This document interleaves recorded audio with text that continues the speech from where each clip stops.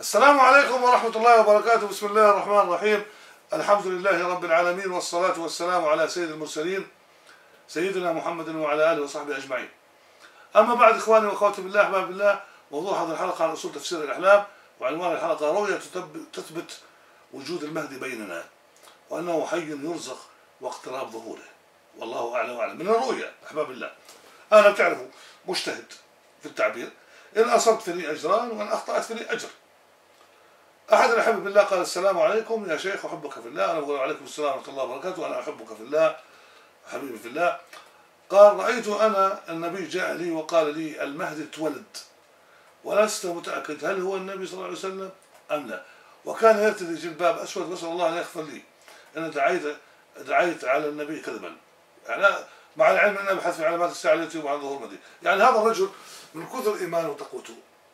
خائف إنه إيش يقول؟ إنه ما شاف النبي.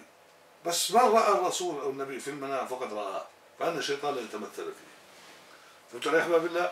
حتى لو كان واحد يفكر في المهدي أو غير المهدي هو ما شاف المهدي شاف النبي عليه الصلاة والسلام.